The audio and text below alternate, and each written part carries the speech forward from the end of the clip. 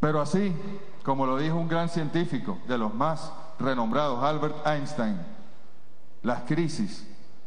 son el mejor momento para desatar las potencialidades de los países, para desatar las potencialidades de los pueblos. Así que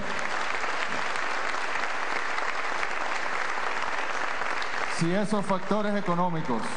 nacionales y transnacionales, si esos factores políticos nacionales y transnacionales, si el imperialismo cree que con la guerra del petróleo va a poder con la revolución bolivariana, sepan que el látigo de la contrarrevolución nos da más fuerza que nunca para desatar nuestra creatividad, nuestra inventiva, nuestro conocimiento, para superar todas las crisis que se presenten.